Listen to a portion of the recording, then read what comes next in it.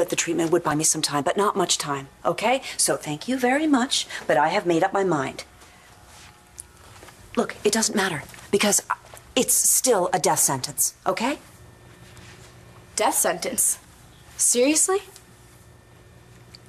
How much of that did you just hear? Enough to know you're in trouble. Yeah, she's a freshman at LU. Hannah O'Connor. Yeah, she OD'd on pills a couple months ago, too. What difference does it make what kind of pills? Oh, and here's another thing. I caught her trying to have sex with my daughter's boyfriend. So start digging and don't stop until you come up with psycho nympho. Haven't you hurt enough people already? Just who am I hurting, Blair? Not Marty. When she flew through the air with the greatest of ease, I wasn't even there. And if you're here because you're all boo-hoo about Cole not making bail, then well, that's not on me either. I didn't pay that judge a dime. So if you're here to plead his case... I'm or- not. And I don't want to hear your case either. I'm not going to take sides, especially You know yours. I've done that before and it's never paid off. I don't need your side. I've got Starr. At least she believes me. Oh, well, let's cue the violin, Give me my shall phone, we? please. No, I'm not going to give you the phone. Where'd you get this anyway? Who smuggled this in for you, huh? Nobody. I didn't have to have it smuggled. You convinced your daughter to give it to you? Great. Okay, I have another question. Who is the uh, psycho nympho that you're plotting against? Why don't you ask Cole? He's the one fooling around with her. What are you talking about, his friend Hannah? His friend, Hannah. They're not friends. Starr knows it, and I know it. That's why she lied to the police. Oh, you're keeping this paranoid fantasy alive, aren't no, you? It's not fantasy. It's not paranoia. She was just here, just in this room, trying to make a deal with me. What kind of a deal? Uh, she said she'd change her story about seeing me push Marty if I dropped the charges against Cole. You serious? So would you please hand me my phone? It's like I'm in charge of my own defense now that Téa's driven off the road. Yeah, why don't you leave Téa alone? She's got bigger things to deal with right now. That's what she said. What's going on with her?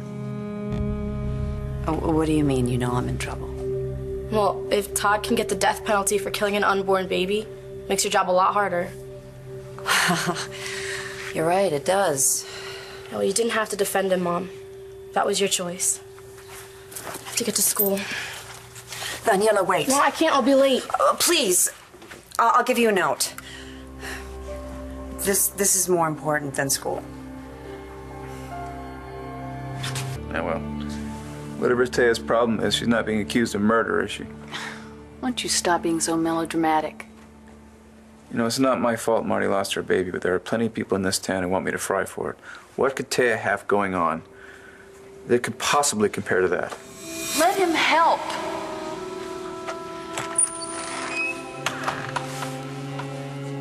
You want to see Pink Todd helps? Let him surprise you. I mean, couldn't you use just a really great surprise today? Thank you for keeping this to yourself. Blair? Maybe Téa has to deal with raising your daughter, Todd, and maybe Dani is so freaked out by the fact that her mother could possibly represent you. Maybe that's what Téa has to deal with. Why don't you just cut her some slack and stop your whining? Since when is it okay for me to cut school? Well, these these are special circumstances. Why? Wait, tonight is is your prom. So, It's your prom, Nina. Oh my God, this is a special night for you and Matthew. I guess. You guess? Look, I just don't get what the prom has to do with staying home from school. Well, you don't have a prom dress yet. We, we have to fix that. And you know what they say.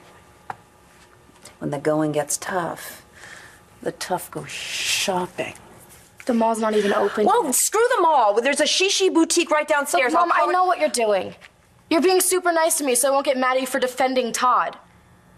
Or maybe it's something else entirely. Maybe I've been waiting half my damn life to go buy a prom dress with my daughter. Okay, you win. The tough go shopping. No, you know what? Nate's not a problem. Can't believe Renee let us take all these home. Are you kidding me? We're las mujeres de la familia Delgado. The world is our oyster, sweetheart. Yeah, well, I'll try them on later, okay? Oh, no. After I get home from school. Honey, the world may be our oyster, but Renee needs these back. There are going to be other last minute shoppers looking for prom dresses to wear. Please, try one on now. Come on. Come on, for me. Come on. I don't get it. Why are you so intense about this?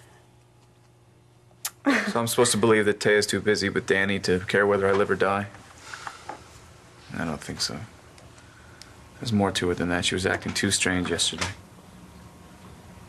If you know something, you need to tell me. No, I don't need to do anything, Todd. Remember when you told me that Téa told you that I was the love of her oh, life? Like you'd ever let me forget it? Well, is it true?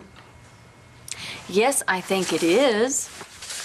And if something's going on, don't you think I should know about it? But you know what, Todd? That is Téa's decision, not mine. So there is something that I don't know. Well, Blair, listen, if I'm going to do anything about it, it's got to be now because when I'm on trial, it'll be too late.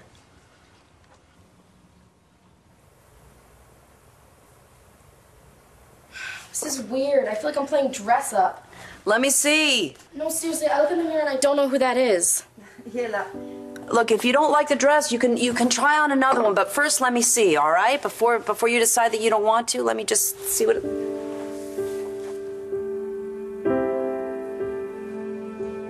Oh my god, sweetheart, you look beautiful.